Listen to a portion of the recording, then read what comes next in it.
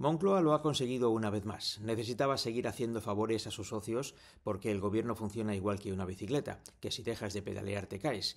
Y el último favor consiste en colar por la puerta de atrás una normativa que permitirá a algunos de los etarras más sanguinarios librarse de varios años de prisión en España.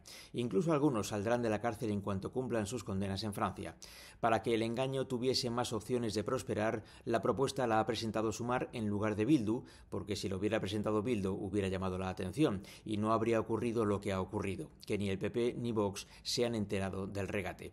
Los partidos de la oposición deberán preguntarse a sí mismos a qué se dedican sus diputados y los ciudadanos en general quizá debamos preguntarnos el motivo por el cual determinadas normas con efectos tan importantes como reducir las condenas de los terroristas son apartadas de la vista de la ciudadanía por decisión expresa del gobierno, porque de esto solo nos hemos enterado gracias a la prensa y a la Asociación de Víctimas del terrorismo.